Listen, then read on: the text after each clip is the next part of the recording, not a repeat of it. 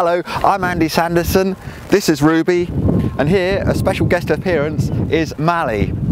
In the next few minutes I'd like to try and show you around number 4 Seaview Terrace. Now they don't call it Seaview Terrace for nothing as you can see by the view that you've got right over there. I'm up on Dinas Olau and it's actually the first area of land ever acquired by the National Trust. So it's a spectacular environment up here and the house actually backs onto it and you can see the brand new roof of 4 Seaview Terrace that was put on during 2010. So I'm up here with the seagulls, Karen watching and I'll show you a bit more around the house.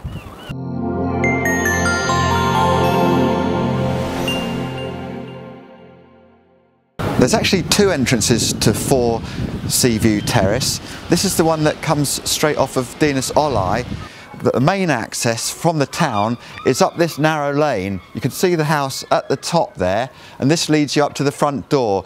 So you've got to appreciate there's no car parking near the property. Come on Rube, let's go up and have a look. Good girl. Once you're up here, it's really worth having made the ascent because obviously the view is fantastic, you're well away from the traffic and there's not much more than the sound of seagulls and the waves in the distance here. There is parking down below. In fact, you can see the town car park just down there and you can get a seasonal annual pass to use that. For only £125 per year. So that's pretty affordable and convenient. Since the current owners acquired the property back in about 2007, they've done lots of maintenance and a huge amount of separate improvements as well. This includes having re-roofed the property, rewired it, I think there's been a new central heating boiler put in and that's in addition to all the cosmetic improvements and things like bathroom refitting and kitchen refitting. Let's go in and I'll show you. In addition to lots of uh, recently installed UPVC double glazed windows, there's also three really nice exterior doors that have been recently installed as well. And this main front door has got electronic locking and it even talks to you. Lock open. As this is such a big house and it's on four levels, I'm going to try and deal with each level uh, on its own to make the tour a little bit quicker. Before we start, this is Clover. Clover lives here and she really enjoys the whole environment around the house. On the ground floor we've got the entrance hallway and you turn right off the hallway into the main kitchen and dining area here. Obviously you've got a big bay window with a window seat in it, original style fireplace and then out the back of the ground floor, there's also a utility room with another exterior door and a downstairs WC. As we go upstairs, there's this lovely original staircase that takes us right to the top floor. This is the first floor split level landing and there's actually a total of three separate toilets in the house as well as the two bathrooms. We've got one toilet on this floor here just off the landing. There's a first floor bedroom but the really lovely thing here is this first floor bay fronted lounge.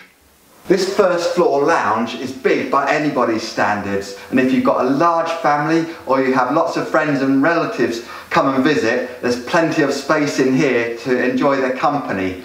In the winter, there's this easy to light modern contemporary style gas fire and in the summer, the big bay window here is fantastic to sit in and read a book have some sunshine and enjoy the view as well.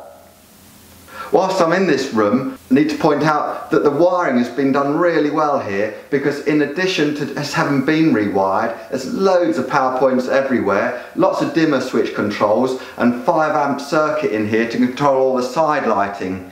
In the bathrooms, there's some really nice spotlighting too. This beautiful staircase now takes us up to the split level second floor landing. We've got a box room in here, but the marvellous thing about this landing is that there's another exterior door on the side, just when you least expect it. And this side door takes you out onto the footpath at Dinas Olau, which we showed you right at the beginning of the video. Also off this second floor landing is the main family bathroom here on my right This is fully tiled out with a good shower cubicle. But another one of the most impressive things about the whole of this house is this master bedroom suite because not only has it got all the space of this bedroom area and a terrific elevated sea view at the front here, also on the right hand side here is this beautiful open plan bathroom area with a deep bathtub, separate shower cubicle and contemporary style white suite. So we finally made it up here to the third floor at the top of the house. Just off the split level landing at the lower level, there's a toilet here, and up on the top level, there's three more bedrooms off this landing, and these have all got a different character of their own. This is the rear double bedroom with a dormer window to the back. And this is the front double bedroom, again with a nice dormer window which gives it a sort of cottage style and provides a sea view for you. And finally, we've got the single top floor front bedroom. So that's 4 Seaview Terrace in Barmouth.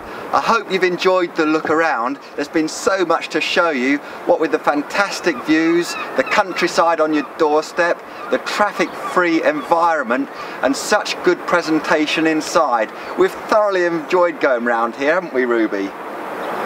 If you'd like to come along and have a look at it for yourself, we'd be glad to hear from you. Please give us a call on the usual number, which is 01341 281 599. Similarly, I'd be glad to hear from you if you'd like me to come and make a video like this to try and get your own house sold for you too. At the end of this video, there's two links. One link that means you can subscribe to Sanderson Estate Agents YouTube channel to see more videos that we make in the future. There's another link that takes you to a short video all about the town of Barmouth, which you might find useful. So thanks very much for watching. I'm Andy Sanderson, this is Ruby, and we hope to be seeing you up here soon. Bye bye now.